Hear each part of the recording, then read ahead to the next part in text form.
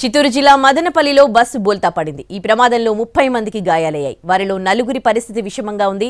వారిని హాస్పిటల్కు తరలించారు. ప్రమాద సమయంలో బస్సులో అరవై మంది ప్రయాణికులున్నారు. బెంగళూరు నుంచి తిరుపతి వెళ్ళి ప్రైవేట్ ట్రావెల్స్ బస్సు మదనపల్లి సమీపంలోని మర్రిమాను బొమ్మల ఫ్యాక్టరీ వద్ద అదుపు తప్పి బోల్తా పడింది.